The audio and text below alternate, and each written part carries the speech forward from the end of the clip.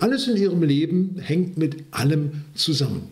Also was Sie gestern taten zum Beispiel, das beeinflusst Ihr heute, was Sie heute tun, das beeinflusst Ihr Morgen und was Sie im Beruf tun, das beeinflusst natürlich auch Ihr privates Glück und umgekehrt.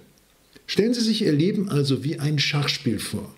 Jeder Zug, den Sie jetzt gerade in dieser Sekunde tun, der beeinflusst das weitere Spiel und zwar positiv oder negativ. In jedem Fall hat er Folgen.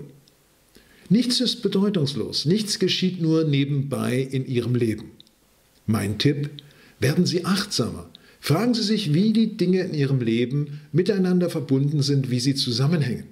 Zum Beispiel, wie wirkt sich mein Denken über mich selbst auf meinen Umgang mit meiner Partnerin oder mit meinem Partner aus?